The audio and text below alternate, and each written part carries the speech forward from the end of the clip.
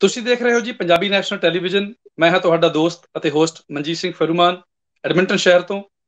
ਔਰ ਅੱਜ ਅਸੀਂ ਤੁਹਾਡੀ ਗੱਲਬਾਤ ਕਰਾਉਣ ਜਾ ਰਹੇ ਹਾਂ ਕੈਨੇਡਾ ਦੇ federal member parliament Sardar Tim Uppal ji, ਜਿਹੜੇ ਕਿ ਐਡਮਿੰਟਨ ਮਿਲਵਰਡਸ ਨੂੰ ਰਿਪਰੈਜ਼ੈਂਟ ਕਰਦੇ ਹਨ। ਔਰ ਗੱਲਬਾਤ ਦਾ ਵਿਸ਼ਾ ਹੈ ਜੀ ਖਾਲਸਾ ਏਡ ਨੂੰ ਨੋਬਲ ਪੀਸ ਅਵਾਰਡ ਦੇ ਲਈ ਨੋਮੀਨੇਟ ਕਰਨਾ। ਟਿਮ ਉੱਪਲ ਜੀ, ਸਭ ਤੋਂ ਪਹਿਲਾਂ ਆਪ ਜੀ ਦਾ ਸਵਾਗਤ ਹੈ ਜੀ। ਸਤਿ ਸ੍ਰੀ ਅਕਾਲ ਜੀ ਥੈਂਕ ਯੂ ਟਿਮ ਜੀ ਸਭ ਤੋਂ ਪਹਿਲਾਂ ਤੇ ਜੀ ਤੁਸੀਂ ਵਧਾਈ ਦੇ ਪਾਤਰ ਹੋ। ਸਾਰੀ ਦੁਨੀਆ ਦੇ ਵਿੱਚ ਤੁਹਾਡੇ ਵੱਲੋਂ ਜਿਹੜਾ ਇਹ ਨਿਵੇਕਲਾ ਕਦਮ ਚੁੱਕਿਆ ਗਿਆ ਹੈ ਇਹਦੀ ਸ਼ਲਾਘਾ ਹੋ ਰਹੀ ਆ। ਔਰ ਮੈਨੂੰ ਲੱਗਦਾ ਵੀ ਇਹ ਜਿਹੜਾ ਕਦਮ ਹੈ ਇੱਕ ਬੜਾ ਹੀ ਇਤਿਹਾਸਕ ਕਦਮ ਆ ਔਰ ਰਹਿੰਦੀ ਦੁਨੀਆ ਦੇ ਵਿੱਚ ਤੁਹਾਡੇ ਵੱਲੋਂ ਚੁੱਕਿਆ ਗਿਆ ਇਹ ਜਿਹੜਾ ਕਦਮ ਆ, ਇਸ ਨੂੰ ਯਾਦ ਕੀਤਾ ਜਾਵੇਗਾ। ਸੋ, ਸਭ ਤੋਂ ਪਹਿਲਾਂ ਮੈਂ ਤੁਹਾਨੂੰ ਇਹ ਪੁੱਛਣਾ ਚਾਹਾਂਗਾ ਕਿ ਖਾਲਸਾ ਏਡ ਨੂੰ ਨੋਬਲ ਪੀਸ ਪ੍ਰਾਈਜ਼ ਲਈ ਨੋਮੀਨੇਟ ਕਰਨ ਦਾ ਜਿਹੜਾ ਵਿਚਾਰ ਆ ਇਹ ਤੁਹਾਡੇ ਮਨ ਵਿੱਚ ਕਿਵੇਂ ਆਇਆ ਜੀ? ਹਾਂਜੀ ਥੈਂਕ ਯੂ ਜੀ। ਪਹਿਲੀ ਗੱਲ ਵੀ ਜਿਹੜੇ ਨੋਬਲ ਪੀਸ ਪ੍ਰਾਈਜ਼ ਆ ਐਸ ਯੂ نو ਵੀ ਉਹ ਬੜੀ ਵੀ ਦੁਨੀਆ ਦੇ ਵਿੱਚ ਮੰਨਿਆ ਜਾਂਦਾ ਵੀ ਜਿਹੜੇ ਜੇ ਕੋਈ ਖਾਸ ਆਰਗੇਨਾਈਜੇਸ਼ਨ ਨੇ ਇਹ ਜੇ ਕੰਮ ਕੀਤਾ ਹੋਵੇ ਜਿਹੜੇ ਵੀ ਇੰਟਰਨੈਸ਼ਨਲੀ ਉਹਨਾਂ ਦੀ ਰੈਕਗਨੀਸ਼ਨ ਹੋਣੀ ਚਾਹੀਦੀ ਆ। ਸੋ ਮੈਂ ਸੋਚ ਸਕਦਾ ਵੀ ਜਿਹੜੇ ਆਰਗੇਨਾਈਜੇਸ਼ਨ ਚ ਮੈਂ ਜਾਣਦਾ ਵੀ ਖਾਲਸਾ ਏਡ ਕੰਪਲੀਟਲੀ ਕਹੋ ਵੀ ਡਿਜ਼ਰਵਿੰਗ ਇਸ ਚੀਜ਼ ਦੇ ਤੇ ਇਹ ਮੈਨੂੰ ਆਈਡੀਆ ਆਇਆ ਸੀਗਾ। I mean first of all it was you know online ਵੀ ਕਈ ਲੋਕ ਕਹਿੰਦੇ ਸੀਗੇ ਵੀ ਆਪਾਂ ਨੂੰ ਕਰਨਾ ਚਾਹੀਦਾ ਤੇ ਉਸ ਚੀਜ਼ ਨੂੰ ਜਿਹੜਾ ਨੋਮੀਨੇਟ ਕਰਨ ਨੂੰ ਕਈ ਕੈਟਾਗਰੀਜ਼ ਨੇ ਵੀ ਨੋਮੀਨੇਟ ਕੌਣ ਕਰ ਸਕਦਾ and one of those categories ਥੋੜੀ ਜਿਹੀ ਕੈਟਾਗਰੀਜ਼ ਨੇ ਤੇ ਮੈਂਬਰ ਆਫ ਪਾਰਲੀਮੈਂਟ ਕਰ ਸਕਦੇ ਜੀ। ਤੇ ਜਦੋਂ ਕੁਝ ਇੰਡੀਅਨ ਮੀਡੀਆ ਨੇ ਖਾਸਾ ਏਡ ਨੂੰ ਕਿ ਲੋ ਵੀ ਗਲਤ ਤਰੀਕੇ ਦੇ ਨਾਲ ਪੋਰਟਰੇ ਕੀਤਾ ਉਹਨਾਂ ਦੇ ਜਦੋਂ ਇੰਨੇ ਵਧੀਆ ਕੰਮ ਕਰ ਰਹੇ ਨੇ ਸਾਰੇ ਦੁਨੀਆ ਦੇ ਵਿੱਚ ਕਰਦੇ ਨੇ ਉਹਨਾਂ ਨੂੰ ਗਲਤ ਕੀਤਾ ਉਦੋਂ ਮੈਨੂੰ ਲੱਗਿਆ ਵੀ we should be doing something because Khalsa Aid ਹੈ ਜੋ ਆਰਗੇਨਾਈਜੇਸ਼ਨ ਆ ਵੀ ਸਾਰੀ ਦੁਨੀਆ ਦੇ ਵਿੱਚ ਲੋਕਾਂ ਨੂੰ ਹੈਲਪ ਕਰਦੇ ਨੇ not just Sikhs that's the main thing ਉਹ ਐਕਚੁਅਲੀ ਧਰਮ ਜਿਹੜਾ ਮਰਜ਼ੀ ਹੋਵੇ ਬੈਕਗ੍ਰਾਉਂਡ ਜਿਹੜਾ ਮਰਜ਼ੀ ਹੋਵੇ ਮੁਸਲਮਾਨ Hindu Sikh Christian Yazidi and ਪਲੰਦੀ earthquake floods war time ਦੇ ਵਿੱਚ ਵੀ ਜਾ ਕੇ ਐਸ ਰੈਫਿਊਜੀਜ਼ ਨੂੰ ਹੈਲਪ ਕਰਦੇ ਰਹੇ ਨੇ। ਸੋ ਇਹ ਕੰਮ ਕਰਨਾ ਵੀ ਬਹੁਤ ਔਖਾ ਵਾ and they still have been doing that and also in India as well Punjab ਵੀ ਕਰਦੇ ਰਹੇ ਆ। ਹੁਣ ਪਤਾ ਆਪਾਂ ਨੂੰ ਪਤਾ ਵੀ ਦਿੱਲੀ ਚ ਕਰ ਰਹੇ ਨੇ ਪਰ ਇਵਨ ਸਾਊਥ ਇੰਡੀਆ ਦੇ ਵਿੱਚ ਜੋ ਕੁਝ ਫਲੱਡਸ ਆਏ ਨੇ ਜੋ ਹੋਰ ਕੋਈ ਟਾਈਮ ਦੇ ਵਿੱਚ ਉਦੋਂ ਵੀ ਇੰਡੀਅਨਸ ਨੂੰ ਇਹ ਹੈਲਪ ਕਰਦੇ ਰਹੇ ਆ। ਸੋ ਇਹ ਇਹ ਜੋ ਆਰਗੇਨਾਈਜੇਸ਼ਨ ਨੂੰ ਆਪਣੇ ਸਾਰਿਆਂ ਦਾ ਹੀ ਬਣਦਾ ਵੀ ਆਪਾਂ ਕਰਨਾ ਚਾਹੀਦਾ। ਐਂਡ ਮੈਨੂੰ ਲੱਗਿਆ ਵੀ ਜਿੰਨਾ ਮੈਂ ਕਰ ਸਕਦਾ which was to nominate this because as a member of parliament ਮੈਂ ਕਰ ਸਕਦਾ ਉਹ ਮੈਨੂੰ ਲੱਗਿਆ ਵੀ ਸਹੀ ਰਾਹ ਆ ਵੀ ਉਹਨਾਂ ਦੀ ਰੈਕਗਨੀਸ਼ਨ ਕਰਦੇ। ਬਿਲਕੁਲ। ਭਾਜੀ ਥੋੜੀ ਜੀ ਮੈਂ ਨਾ ਆਪਣੇ ਦਰਸ਼ਕਾਂ ਨੂੰ ਖਾਲਸਾ ਏਡ ਦੀ ਪਿਛੋਕੜ ਬਾਰੇ ਦੱਸ ਦਿੰਦਾ, ਫਿਰ ਆਪਾਂ ਗੱਲਬਾਤ ਨੂੰ ਜਾਰੀ ਰੱਖਦੇ ਹਾਂ। ਖਾਲਸਾ ਏਡ ਜਿਹੜੀ ਹੈ ਜੀ, ਇਹ UK based non government organisation ਹੈ ਔਰ 1999 ਯਾਨੀ ਕਿ ਖਾਲਸਾ ਦੇ 300 ਸਾਲਾਂ ਬਾਅਦ ਇਸ ਦੀ ਕ੍ਰੀਏਸ਼ਨ ਜਿਹੜੀ ਹੈ, ਉਹ ਸਰਦਾਰ ਰਵੀ ਸਿੰਘ ਖਾਲਸਾ ਵੱਲੋਂ ਕੀਤੀ ਗਈ ਸੀ। ਔਰ ਇਹ ਜਿਹੜੀ ਖਾਲਸਾ ਏਡ ਬਣਾਈ ਗਈ ਸੀ ਜੀ, ਇਹ ਸਿੱਖੀ ਦਾ ਜਿਹੜਾ ਬੇਸਿਕ ਪ੍ਰਿੰਸੀਪਲ ਹੈ to recognise the whole human race as one and to serve humanity यानी कि अव्वल अल्लाह नूर उपाया कुदरत के सब बंदे एक ਨੂਰ ਤੇ ਸਭ ਜਗ ਉਪਜਿਆ ਕੌਣ ਭਲੇ ਕੋ ਮੰਦੇ ਔਰ ਆਪਾਂ ਸਿੱਖੀ ਦੇ ਵਿੱਚ ਸਰਬਤ ਦਾ ਭਲਾ ਹਮੇਸ਼ਾ ਹੀ ਮੰਗਦੇ ਆ ਜੀ ਔਰ ਇਹਨਾਂ ਪ੍ਰਿੰਸੀਪਲਸ ਦੇ ਉੱਪਰ ਇਹ ਖਾਲਸਾ ਏਡ ਜਿਹੜੀ ਸੰਸਥਾ ਹੈ ਇਹ ਕੰਮ ਕਰਦੀ ਹੈ ਔਰ ਬੜੇ ਮਾਣ ਵਾਲੀ ਗੱਲ ਹੈ ਜੀ ਕਿ ਟਿਮ ਉੱਪਲ ਜੀ ਦੇ ਨਾਲ ਨਾਲ ਜਿਹੜੇ ਮੇਅਰ ਨੇ ਬ੍ਰਮਟਨ ਦੇ ਪੈਟ੍ਰਿਕ ਬ੍ਰਾਊਨ ਅਤੇ ਬ੍ਰੈਂਟਨ ਸਾਊਥ ਤੋਂ ਪ੍ਰੋਵਿੰਸ਼ੀਅਲ ਮੈਂਬਰ ਆਫ ਪਾਰਲੀਮੈਂਟ ਨੇ ਸਰਦਾਰ ਪ੍ਰਭਮੀਤ ਸਿੰਘ, ਇਹਨਾਂ ਨੇ ਕਲੈਕਟਿਵਲੀ ਨੋਮੀਨੇਟ ਕੀਤਾ ਸੀਗਾ। ਔਰ ਅਗਰ ਕੰਮਾਂ ਦੀ ਗੱਲ ਕੀਤੀ ਜਾਵੇ ਤੇ ਖਾਲਸਾ ਏਡ ਨੇ ਜੀ ਦੁਨੀਆ ਭਰ ਦੇ ਵਿੱਚ ਜਦੋਂ ਵੀ ਮਨੁੱਖਤਾ ਦੇ ਉੱਪਰ ਕਿਸੇ ਵੀ ਤਰ੍ਹਾਂ ਦੀ ਕੋਈ ਭੀੜ ਪਈ ਆ, ਚਾਹੇ ਉਹ ਨੈਚੁਰਲ ਹੋਵੇ ਜਾਂ ਮੈਨ ਮੇਡ ਹੋਵੇ ਅਗਰ ਤੁਸੀਂ ਜ਼ਿਕਰ ਕਰਨ ਬੈਜੋ ਤੇ ਬਹੁਤ ਲੰਬੀ ਚੌੜੀ ਲਿਸਟ ਆ ਜੀ। ਕੋਸੋਵੋ ਕੋਸੋਵੋ ਦੇ ਵਿੱਚ, ਨੇਪਾਲ ਦੇ ਵਿੱਚ, ਆਸਟ੍ਰੇਲੀਆ ਵਿੱਚ ਯੂਕੇ ਵਿੱਚ ਈਵਨ ਕੈਨੇਡਾ ਵਿੱਚ ਜਦੋਂ ਪੈਂਡੈਮਿਕ ਸੀਗਾ ਤੇ ਬਹੁਤ ਵੱਡੇ ਪੱਧਰ ਦੇ ਉੱਪਰ ਗਰੋਸਰੀ ਦੇ ਥਰੂ ਇਹਨਾਂ ਨੇ ਲੋੜਵੰਦਾਂ ਦੀ ਹੈਲਪ ਕੀਤੀ ਸੀਗੀ। ਦਿੱਲੀ ਵਿੱਚ ਜੀ 2020 ਚ ਰਾਇਟਸ ਹੋਏ ਸੀ। ਉੱਥੇ ਵੀ ਰੀਬਿਲਟ ਵਾਸਤੇ ਕਾਫੀ ਇਹਨਾਂ ਨੇ ਹੈਲਪ ਕੀਤੀ। ਫਿਰ ਇੰਡੀਆ ਦੇ ਵਿੱਚ ਉੜੀਸਾ ਗੁਜਰਾਤ ਪੰਜਾਬ ਬੰਗਾਲ ਕਹਿਣ ਦਾ ਮਤਲਬ ਕਿ ਦੁਨੀਆ ਵਿੱਚ ਜਿੱਥੇ ਵੀ ਕਿਸੇ ਤਰ੍ਹਾਂ ਦੀ ਕੋਈ ਮਨੁੱਖਤਾ ਨੂੰ ਲੋੜ ਪਈ ਤੇ ਖਾਲਸਾ ਏਡ ਜਿਹੜੀ ਹੈ ਜੀ ਮਸੀਹਾ ਬਣ ਕੇ ਪਹੁੰਚੀ। ਸੋ ਭਾਜੀ ਜਦੋਂ ਤੁਸੀਂ ਇਹ ਖਾਲਸਾ ਏਡ ਨੂੰ ਨੋਬਲ ਪੀਸ ਪ੍ਰਾਈਜ਼ ਦੇ ਲਈ ਨੋਮੀਨੇਟ ਕੀਤਾ ਹੁਣ ਤੇ ਵਰਲਡ ਵਾਈਡ ਇਹ ਜਿਹੜੀ ਗੱਲਬਾਤ ਆ ਜੀ ਇਹ ਫੈਲ ਚੁੱਕੀ ਆ ਔਰ ਜ਼ਾਹਿਰ ਆ ਕਿ ਤੁਹਾਨੂੰ ਬਹੁਤ ਲੋਕਾਂ ਦੇ ਫੋਨ ਕਾਲਸ ਆਉਂਦੀਆਂ ਹੋਣਗੀਆਂ ਉਹਨਾਂ ਦੀਆਂ ਜਿਹੜੀਆਂ ਪ੍ਰਤੀਕਿਰਿਆਵਾਂ ਆਉਂਦੀਆਂ ਹੋਣਗੀਆਂ। ਸੋ ਕਿਵੇਂ ਦੀਆਂ ਫੋਨ ਕਾਲਸ ਜਿਹੜੀਆਂ ਨੇ ਜੀ ਉਹ ਲੋਕਾਂ ਦੀਆਂ ਆ ਰਹੀਆਂ ਨੇ? ਪਹਿਲਾਂ ਤਾਂ ਚਲੋ ਨੋਟੇਬਲ ਰਵੀ ਸਿੰਘ ਦਾ ਫੋਨ ਆਇਆ ਸੀਗਾ which was very nice ਉਹਨਾਂ ਦੇ ਗੱਲ ਤੇ। ਉਹ ਵੀ ਵੈਰੀ ਮਚ ਅਪਰੀਸ਼ੀਏਟਿਵ ਸੀ ਤੇ ਉਹਨਾਂ ਨੂੰ ਮੈਂ ਹੀ ਦੱਸਿਆ ਸੀਗਾ ਮੈਂ ਕਿਹਾ ਵੀ ਜਿਹੜਾ ਸਾਰਾ ਕੰਮ ਤੁਸੀਂ ਕਰ ਰਹੇ ਹੋ ਮੇਰੇ ਲਈ ਤਾਂ ਚਲੋ ਪੇਪਰ ਵਰਕ ਸੀਗਾ and I must say because ਜਿਹੜੇ ਐਡਮਿੰਟਨ ਮਿਲਵਰਸ ਦੇ ਵੋਟਰ ਆ ਉਹਨਾਂ ਨੇ ਮੈਨੂੰ ਜਿਹੜਾ ਇਲੈਕਟ ਕੀਤਾ ਉਹਨਾਂ ਕਰਕੇ ਮੈਂ ਇਹ ਜਿਹਾ ਇੰਟਰਨੈਸ਼ਨਲ ਲੈਵਲ ਤੇ ਕੰਮ ਕਰ ਸਕਿਆ ਸੋ ਮੈਂ ਉਹਨਾਂ ਦਾ ਬਹੁਤ ਬਹੁਤ ਧੰਨਵਾਦ ਕਰਦਾ ਵੀ ਉਹਨਾਂ ਨੇ ਸਹੀ ਸਮਝਿਆ ਵੀ ਮੈਨੂੰ ਇਲੈਕਟ ਕਰਕੇ ਤੇ ਫਿਰ ਇਸ ਹਿਸਾਬ ਨਾਲ ਸੇਵਾ ਕਰ ਸਕਾਂ। ਤੇ ਉਸ ਤੋਂ ਇਲਾਵਾ ਹੋਰ ਵੀ ਜਿਹੜੇ ਕੁਝ ਖਾਲਸਾ ਏਡ ਦੇ ਆਰਗੇਨਾਈਜ਼ਰਸ ਨੇ ਕੈਨੇਡੀਅਨ ਹੈਡ ਤੇ ਹੋਰ ਏਰੀਆ ਦੇ ਜਿਹੜੇ ਉਹਨਾਂ ਦੇ ਵੀ ਫੋਨ ਆਏ ਸੀਗੇ ਪਰ also just general public the main thing is we ਜਿਹੜੇ um ਇਵਨ ਕੁਝ ਬੱਚਿਆਂ ਨਾਲ ਗੱਲ ਹੋਈ ਸੀ ਉਹ ਕਹਿੰਦੇ ਵੀ ਸਾਡੇ ਯੂ نو ਆਪਣੇ ਸਿੱਖ ਧਰਮ ਦੇ ਕੋਈ ਆਰਗੇਨਾਈਜੇਸ਼ਨ ਤੁਸੀਂ ਇੰਟਰਨੈਸ਼ਨਲ ਲੈਵਲ ਤੇ ਰੈਕਗਨਾਈਜ਼ ਕੀਤੀ ਆ and that's the important thing ਵੀ ਆਪਾਂ ਨੂੰ ਉਸ ਹਿਸਾਬ ਦੇ ਨਾਲ ਹੋਣਾ ਚਾਹੀਦਾ।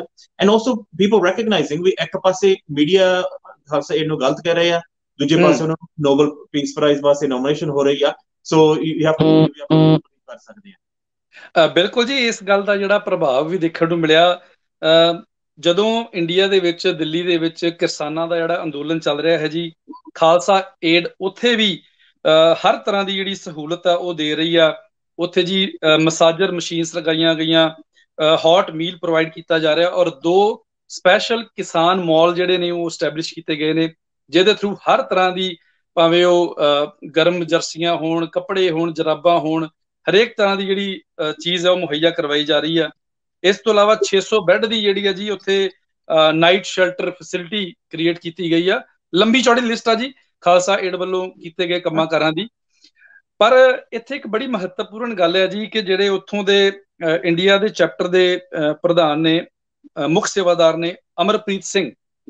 ਉਹਨਾਂ ਨੂੰ ਜੀ ਭਾਰਤ ਸਰਕਾਰ ਵੱਲੋਂ ਕੁਝ ਦਿਨ ਪਹਿਲਾਂ ਹੀ ਜਿਹੜੀ ਨੈਸ਼ਨਲ ਇਨਵੈਸਟੀਗੇਸ਼ਨ ਏਜੰਸੀ ਹੈ ਐਨਆਈਏ ਉਹਦੇ ਵੱਲੋਂ ਸੰਮਣ ਵੀ ਭੇਜੇ ਗਏ ਸੀ ਔਰ ਤੁਹਾਡੇ ਵੱਲੋਂ ਇਹ ਜਿਹੜਾ ਕਦਮ ਚੁੱਕਿਆ ਗਿਆ ਇਸ ਬਾਅਦ ਉਹਨੂੰ ਪੋਸਟਪੋਨ ਕਰ ਦਿੱਤਾ ਗਿਆ ਜੀ ਇੱਕ ਪੋਜ਼ਿਟਿਵ ਰਿਐਕਸ਼ਨ ਹੈ ਇਸ ਗੱਲ ਦਾ। ਇਸ ਨੂੰ ਕਿਵੇਂ ਦੇਖਦੇ ਤੁਸੀਂ?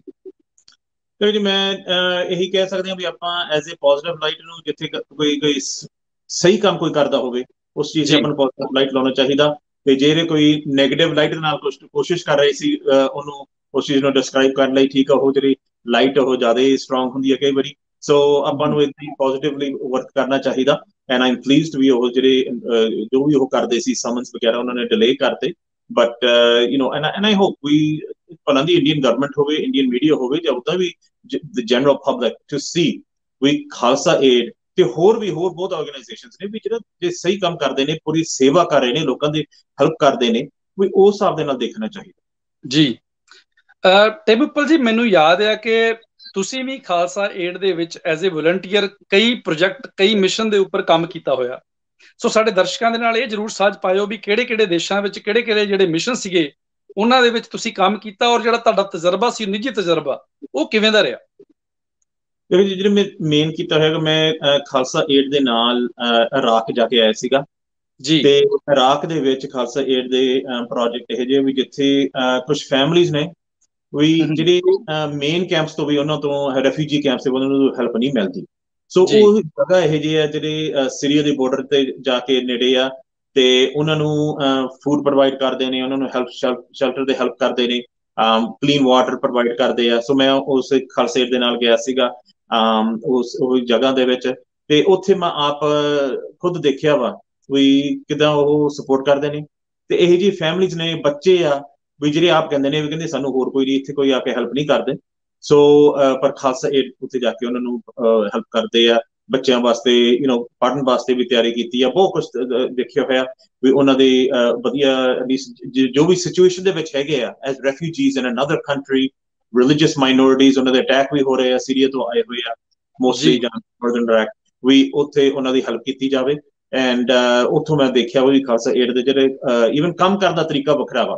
You can compare it to even United Nations ਜਾਂ ਰੈੱਡ ਕਰਾਸ ਵੱਲੋਂ ਉਹ ਕਰਦੇ ਆ ਔਨ ਅ ਹਾਇਰ ਲੈਵਲ ਪਰ ਬਹੁਤ ਕੁਝ ਮਿਸ ਹੋ ਜਾਂਦਾ।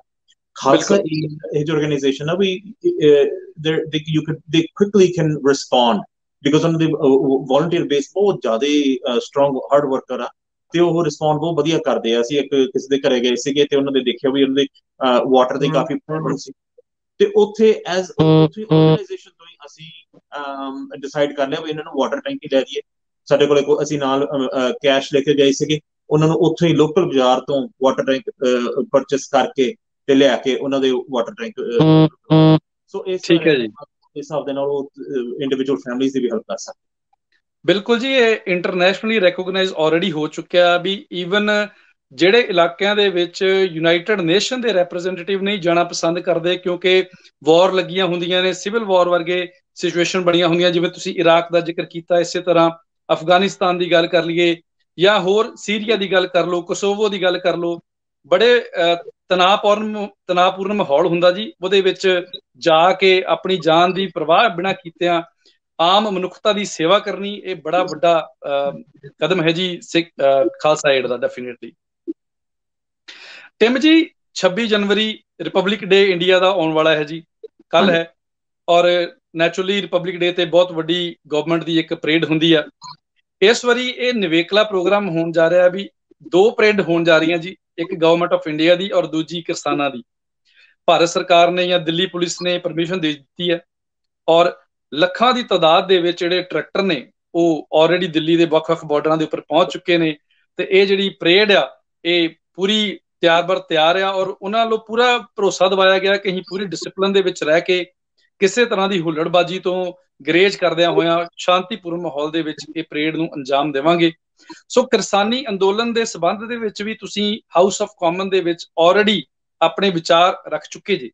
ਸੋ ਇੱਕ ਵਾਰੀ ਫਿਰ ਜਾਣਨਾ ਚਾਹਾਂਗੇ ਕਿ ਕਿਸਾਨੀ ਅੰਦੋਲਨ ਨੂੰ ਲੈ ਕੇ ਜਾਂ ਜਿਹੜੀ 26 ਜਨਵਰੀ ਨੂੰ ਪਰੇਡ ਹੋਣ ਜਾ ਰਹੀ ਆ, ਇਸ ਬਾਰੇ ਤੁਹਾਡੇ ਕੀ ਵਿਚਾਰ ਹਨ ਜੀ? ਤੇ ਜੀ ਮੈਂ ਕਹਿੰਦਾ ਵੀ ਬੜੇ ਸਹੀ ਤਰੀਕੇ ਦੇ ਨਾਲ ਪੀਸਫੁਲੀ ਜਿਹੜਾ ਪ੍ਰੋਟੈਸਟ ਆਲਰੇਡੀ ਚੱਲਦਾ ਵਾ ਅਮ ਅੱਗੇ ਵੀ ਆਪਾਂ ਦੇਖਿਆ ਹੀ ਆ ਤੇ ਇਵਨ ਜੇ ਮੈਂ ਹਾਊਸ ਆਫ ਕਾਮਰਸ ਵਿੱਚ ਵੀ ਗੱਲ ਕੀਤੀ ਸੀ ਕਿ ਵੀ ਭਲਾਂ ਦੇ ਸ਼ੁਰੂ ਦੇ ਵਿੱਚ ਉਸੇ ਸਿਕਿਉਰਿਟੀ ਫੋਰਸਸ ਨੇ ਜਿਹੜੇ ਪ੍ਰੋਟੈਸਟ ਨੂੰ ਅਟੈਕ ਵੀ ਕੀਤਾ ਵਾ ਉਹਦੇ ਵਿੱਚ ਬਜ਼ੁਰਗ ਸੀ ਉਹਨਾਂ ਨੂੰ ਅਟੈਕ ਕੀਤਾ ਤੇ ਐਂਡ ਰਿਜ਼ਲਟ ਇਹ ਸੀਗਾ ਵੀ ਜਿਹੜੇ ਪ੍ਰੋਟੈਸਟ ਸੀ ਪ੍ਰੋਟੈਸਟਰ ਸੀਗੇ ਉਹਨਾਂ ਨੇ ਲੰਗਰ ਛਕਾ ਕੇ ਅੱਗੇ ਗਏ ਨੇ। ਸੋ ਦੈਟਸ ਦ ਵੇ ਇਹਨਾਂ ਦੇ ਕਹ ਵੀ ਦੇ ਬੀਨ ਆਪਰੇਟਿੰਗ ਤੇ ਉਸ ਹਿਸਾਬ ਦੇ ਨਾਲ ਵੀ ਕੁਝ ਹੁਣ ਕਾਫੀ ਟਾਈਮ ਤੋਂ ਉੱਥੇ ਪ੍ਰੋਟੈਸਟ ਚੱਲਦੇ ਨੇ ਉੱਥੇ ਉੱਥੇ ਹੀ ਆ ਤੇ ਉਸ ਉੱਥੇ ਵੀ ਜਿਹੜੇ ਛੋਟੇ ਛੋਟੇ ਬੱਚੇ ਆ ਜਿਨ੍ਹਾਂ ਦੇ ਕੋਈ ਫੈਮਿਲੀਜ਼ ਨਹੀਂ ਉਹਨਾਂ ਨੂੰ ਵੀ ਪੜਾਉਣ ਲੱਗ ਗਏ ਉਹਨਾਂ ਨੂੰ ਵੀ ਸੇਵਾ ਕਰ ਰਹੇ ਨੇ। So it's amazing to see ਵੀ ਜਿਹੜੀ ਕਹ ਲੋ ਵੀ ਸਿਕਸ ਸਪਿਰਿਟ ਕਹ ਲੋ ਜਾਂ ਉਹਨਾਂ ਦੇ ਆਪਦੇ ਮੋਰਲ ਵੈਲਿਊਜ਼ ਨੇ ਕਿਰਦਾਰ ਅਜੀ ਕੈਰੈਕਟਰ ਬਿਲਕੁਲ। ਤਰੀਕੇ ਦੇ ਨਾਲ ਅਰੇਂਜ ਕਰ ਰਹੇ ਨੇ। ਸੋ ਉਸੇ ਉਸ ਉਸ ਹਿਸਾਬ ਨਾਲ ਮੈਂ ਐਕਸਪੈਕਟ ਕਰਦਾ ਵੀ ਜਿਹੜਾ ਟਰੈਕਟਰ ਰਾਹੀਂ ਪ੍ਰੋਟੈਸਟ ਹੋਗਾ ਸੇਮ ਕਾਈਂਡ ਆਫ ਵੇ ਵੀ ਜਿੱਥੇ ਦੁਨੀਆ ਦੇ ਵਿੱਚ ਪਤਾ ਲੱਗ ਜੂਗਾ ਵੀ ਇਸ ਚੀਜ਼ ਦਾ ਧਿਆਨ ਰੱਖਣਾ ਚਾਹੀਦਾ ਵੀ ਕੀ ਹੋ ਰਿਹਾ ਉੱਥੇ।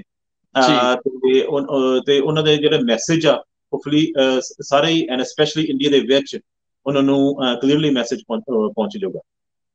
ਟਿਮ ਉਪਲ ਜੀ ਤੁਸੀਂ ਆਟਵਾ ਦੇ ਵਿੱਚ ਬੈਠੇ ਹੋਏ ਜੇ ਦੂਰੀ ਬਣੀ ਹੋਈ ਆ ਪਰ ਫਿਰ ਵੀ ਤੁਸੀਂ ਸਮਾਂ ਕੱਢਿਆ ਔਰ ਇਸ ਮਹੱਤਵਪੂਰਨ ਮੁੱਦੇ ਦੇ ਉੱਪਰ ਸਾਡੇ ਨਾਲ ਗੱਲਬਾਤ ਕੀਤੀ ਆ।